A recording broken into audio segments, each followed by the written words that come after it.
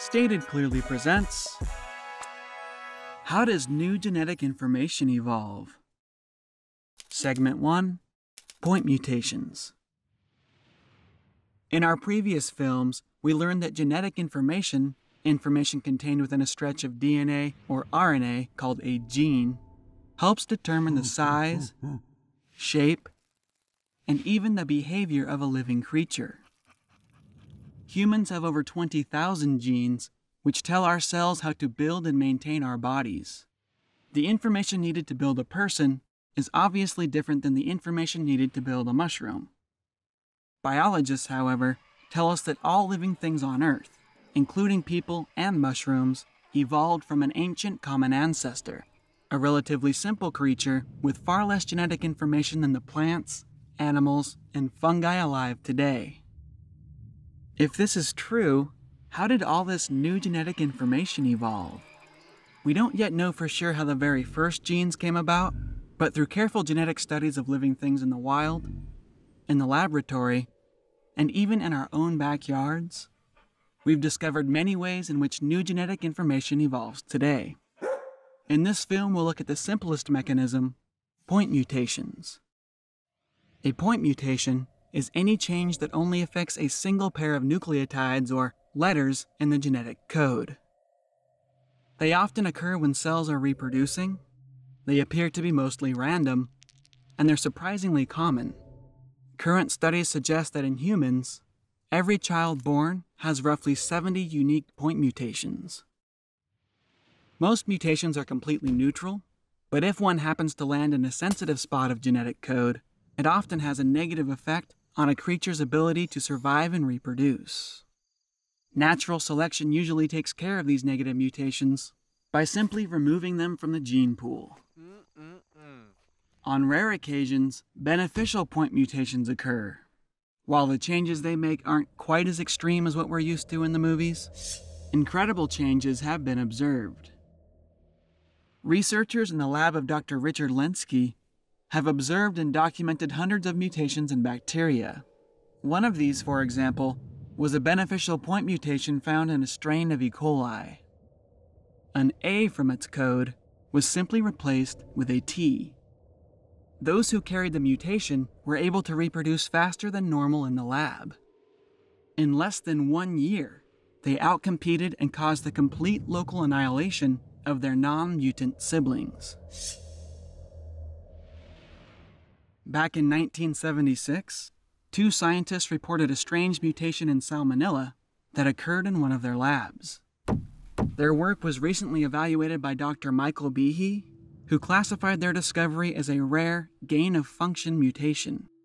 The mutation gave these microbes the brand new ability to detect and then eat a rare sugar called D. arabinose.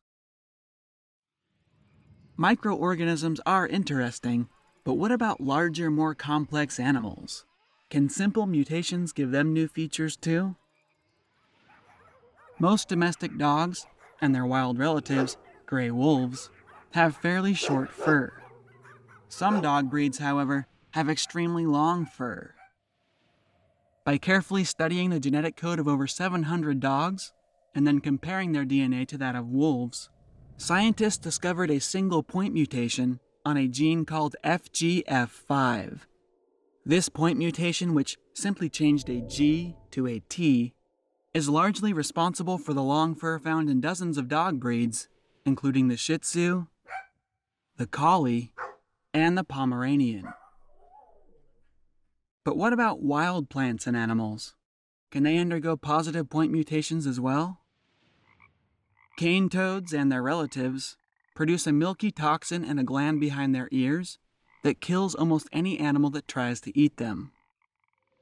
If you could zoom in to see the surface of a cell inside an animal's body, you would find tiny protein structures that act like pumps embedded in the cell's membrane or skin. These protein pumps move electrolytes in and out of the cell. Toad toxins work by attaching to and clogging these pumps, wreaking havoc all throughout a creature's body.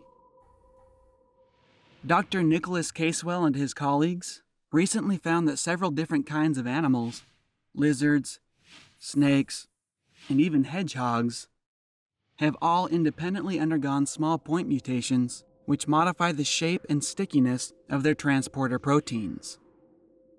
As a result, toad toxins fail to attach, meaning that these mutants are now immune to the poison.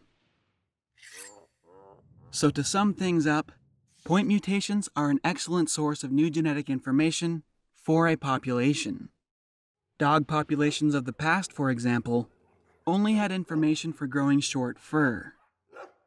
Thanks to a point mutation, they now have information to make pups with short fur or long fur. It's important to note, however, point mutations do not usually increase the total amount of information in the genetic code of an individual.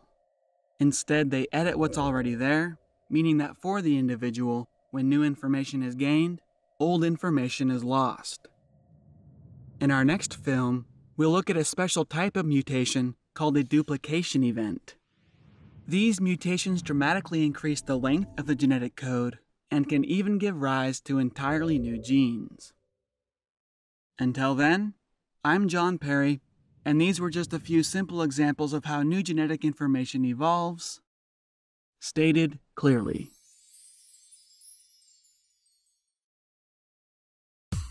That's it for now. I hope you enjoyed the show. If so, subscribe to us on YouTube and follow us on Facebook and Twitter. I'd like to give a special thanks to molecular biologist Dr. Nicholas Casewell. He volunteered hours of his time advising us on this film. To help fund our next animation, click the contribute link on our website at statedclearly.com. So long for now.